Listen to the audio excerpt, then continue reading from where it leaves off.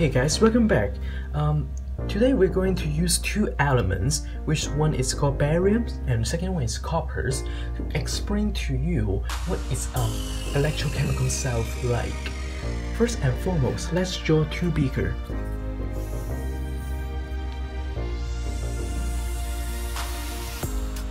Okay, that is two beaker, right and simple.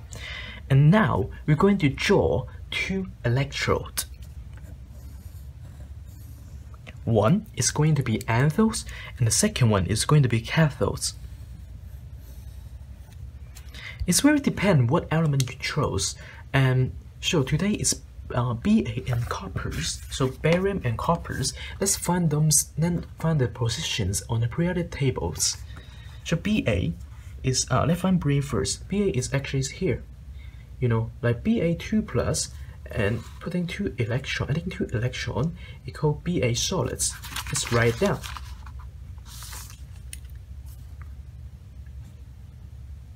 Oh, it's hard to see.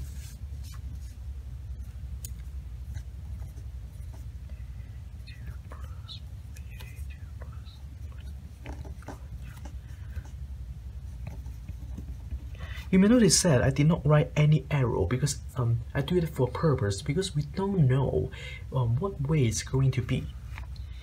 And remember, list some space for another elements. Okay, so um, what is another one? It's going to be copper. As you know, many copper is that. Today we're going to choose is copper 2 plus is that one. Copper 2 plus plus 2 electron equal copper solids let's write down. Because copper have a higher position than uh, barium. So we write copper above I mean above uh, barium.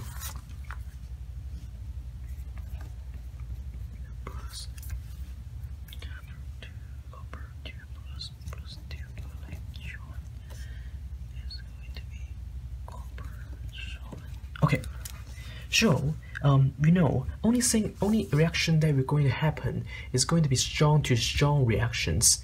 Then we have to notice that uh, barium is in here and copper is in here.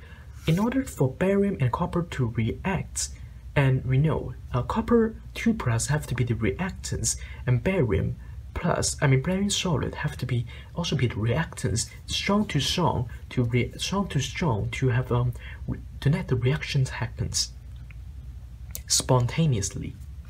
Well, copper 2 plus, we know we're going to circle them, copper 2 plus, and uh, barium's two barium solids, we're going to circle them, then we know our arrow is going to be that side. Okay. Um, another thing we need to notice that if copper 2 plus is going to be um, going to be uh, reduce. So the reduction is happening in here. Reduction is happening in the copper 2 plus and it's barium solid is going to be barium 2 plus which means um, the oxidation is going to happen. When we know reductions when we know reduction and oxidation, what we know that reductions actually is another is actually for the metal is called cathodes. And for oxidation, it's called anvil. That piece of metal, um, maybe you know, you can call it electrode. And we can go into put B8 uh, bariums in here and connect them with a piece of lines. And in between we're going to put a meters. Um you can put a light bulb. Or don't put anything. It's fine. Because that will not affect our result. So now we need to connect them with another um electrodes another electrode we're going to put um, is copper copper solid bar.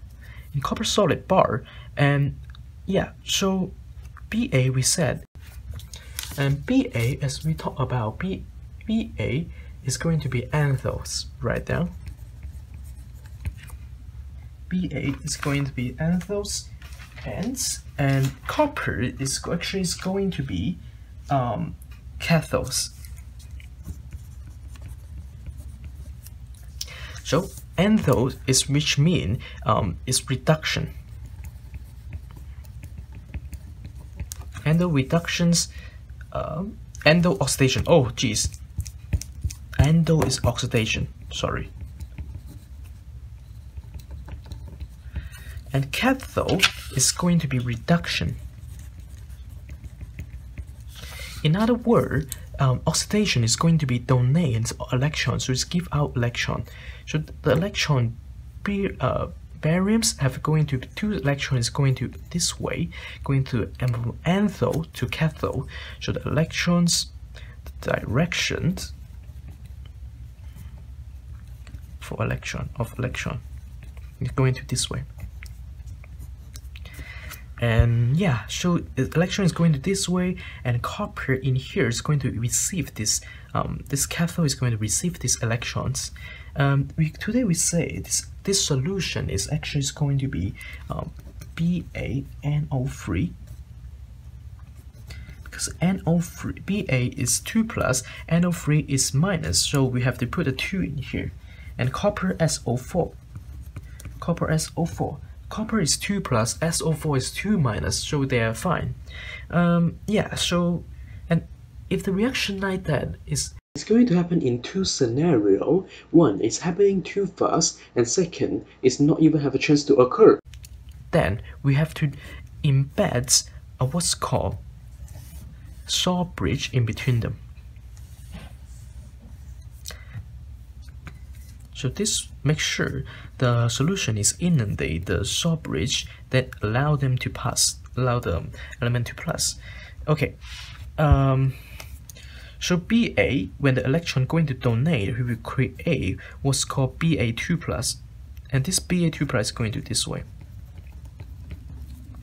Ba2 plus, um, Ba2 plus is going to create and show, as you know, right? Ba2 plus is going to create by Ba solids. So we can write down in here. This is a half reactions of Ba going to be Ba2 plus and going to be two electron. Okay, so this two electron is going to this way and the electron we receive by this cathodes. Cathode, when the cathode ready to receive, um, this Cu and SO4 separate them we break it down first. Cu, now the Cu is going to become um, um, Cu2 plus, Cu2 plus, and this SO4, um, 2 minus is right there.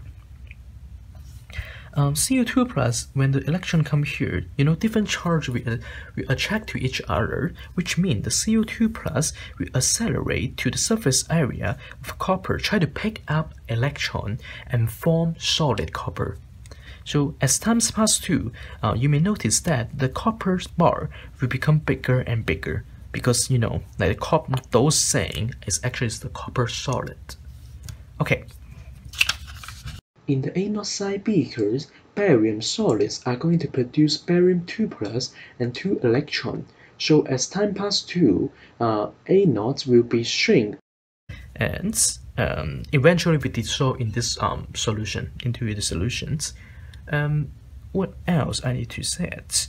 Oh yes, uh, as time passes too, if the if this without the salt bridge, what is going to happen? It's going to happen like um, because more electron going to this way, this one become more negative. Alright, better. This way become more negative, and this way become more positive without a salt bridge because like you know electron go through and become only left is more positive charge and now um, we have salt bridge. Thank you for salt bridge. SO4 2 minus is going to pass through the salt bridge to reach here to, into the um, anthode part. Why? Because SO4 2 minus is um um anion. Anion is going to the anthodes nth ion. It's going to anthodes trying to neutralize them trying to neutralize them and yeah anion you know anion is minus and this one become too positive so they try to neutralize them okay and um Ba2 plus, barium 2 plus, we just produced that. We're going to this side because this side have a negative charge. So, um, Ba2 plus is a uh, cation. It's a cation is we're going to cathode, cathodes. We're going to cathodes and we can write down our half re reaction in also in here. Um, cathode half reaction is will be um, copper 2 plus and plus 2 electron because they pick up 2 electron and become copper solids. When they become copper solids, this is half reaction. This is also half reaction. Now we can write down our um, lead ionic equations, which is combine them first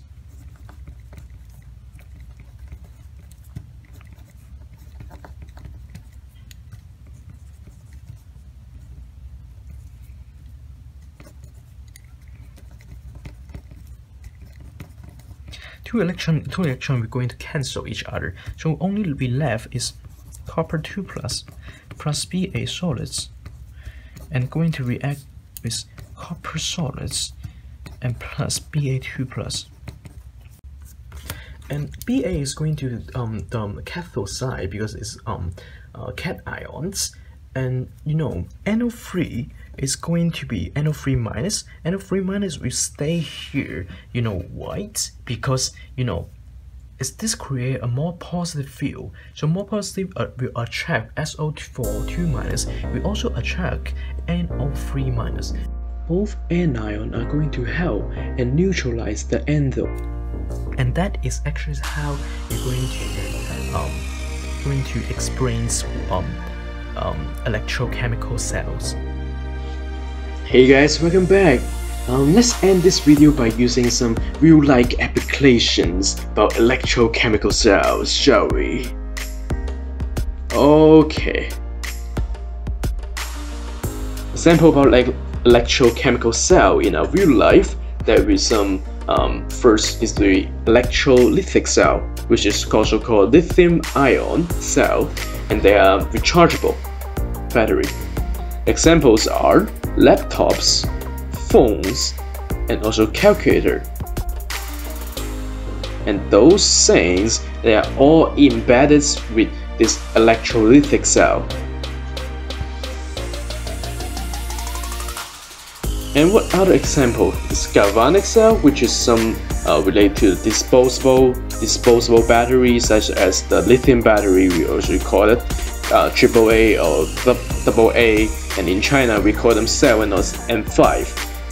Yeah, it's a type of disposable battery which can only use for one time. The battery is set so in the TV remote, such as and uh, your the mouse and the torch lines, those are all of all of them are actually um, embedded with lithium's battery. Okay, how instruction, you know, now doing this coronavirus pandemic's ventilator, uh, those things apply using the, I guess, um, electrolytic cell, you, know, this um, this kind of this machine here. Oh, okay, an artificial pacemaker, and th that's uh, maybe it's used lithium lithium lithium battery. Yeah, could be. And that's used for trigger heartbeats to um, making artificial uh, pumping to your, I mean, trigger the pumping of your ventricle. In the insulin pump, yeah, it's maybe to control insulin.